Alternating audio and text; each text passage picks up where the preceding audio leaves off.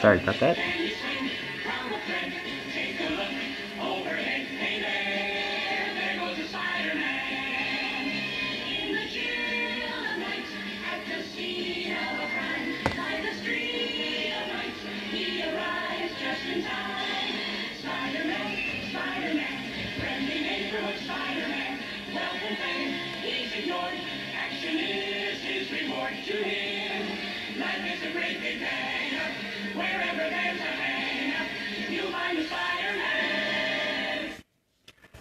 Hey everyone, welcome to Storytime with Scarlet Spider. Filling in for Webhead today because he's out doing his own thing. And today I decided I would talk about the day I met him. Because I've touched on it before, but I never really went into detail. So I'm going to pull out the old Marvel Encyclopedia because I need to introduce you to the guy that brought me into Spidey's life. Give me a second here. I got to get to. Everyone in here is in alphabetical order, which makes it easy, but I just have to get there.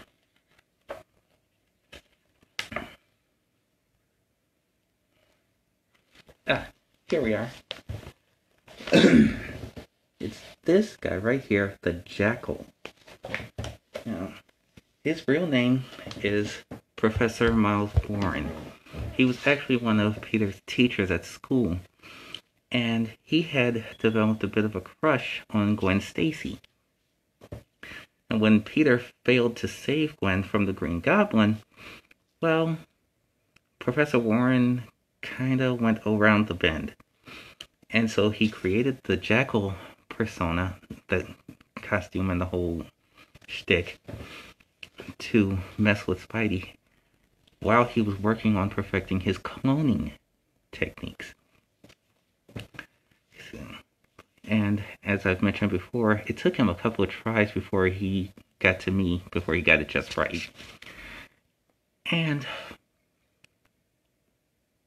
when I, my first memory actually, is waking up looking at Spider Man while I myself was wearing the same costume he was. We were both in the regular red and blues, and the jackal told us that our friend, his friend, Ned Leeds, was tied to a bomb, and the bomb was designed so that only the real Spidey could deactivate it.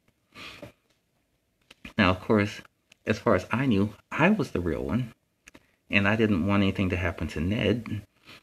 And Peter knew he was the real one, and so the two of us ended up fighting. It's a real mess. Good guys should never fight each other, but sometimes we act without thinking, we jump to conclusions, or we're just so eager to prove that we're right.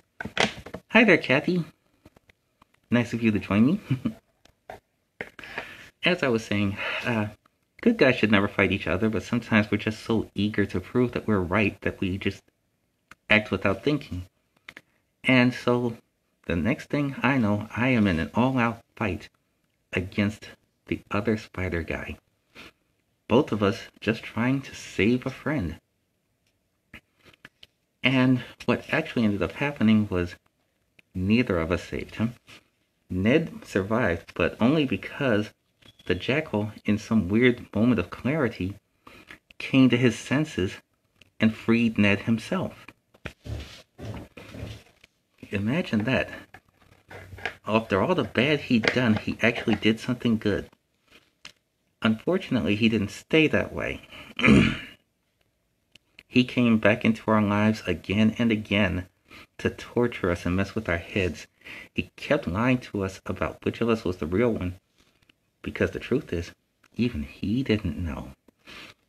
Norman Osborn, the Green Goblin, rigged his equipment so that he would scan us wrong.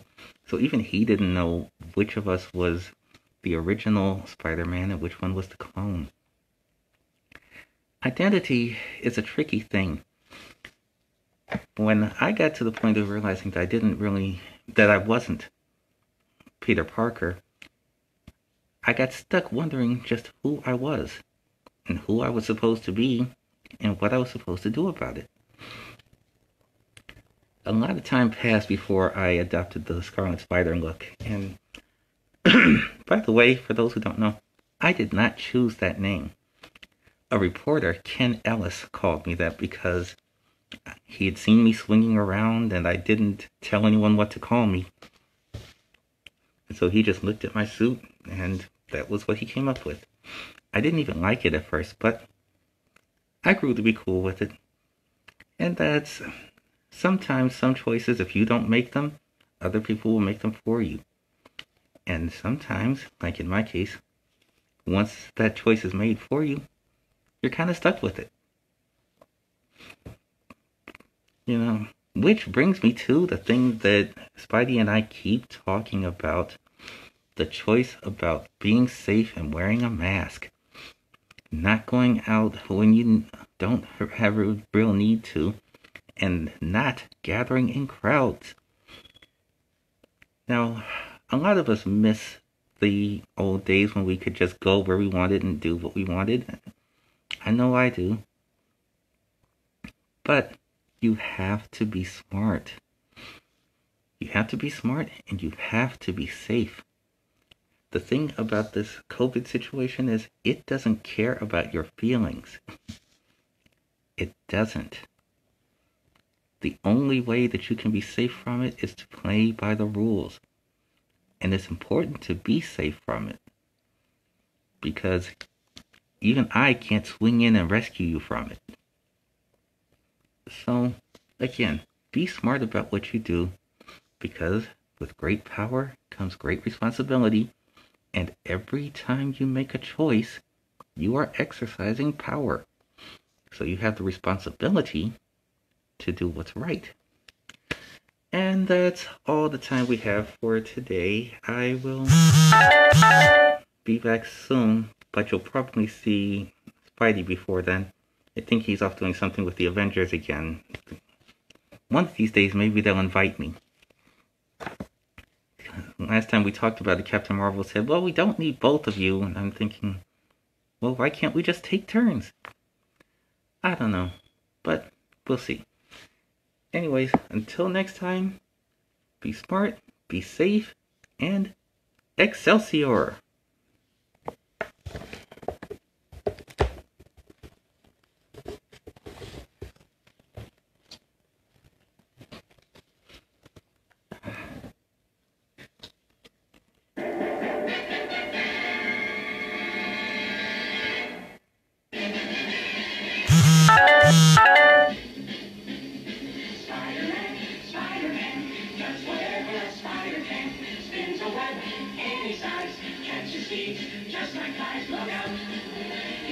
Spider-Man.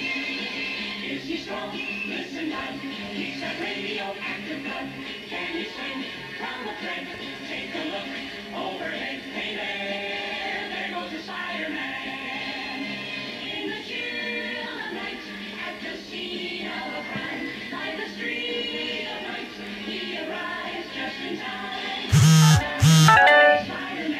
Friendly neighborhood consent is ignored. Action is his reward to him. Life is a great big hang-up. Wherever there's a hang-up, you find a spot.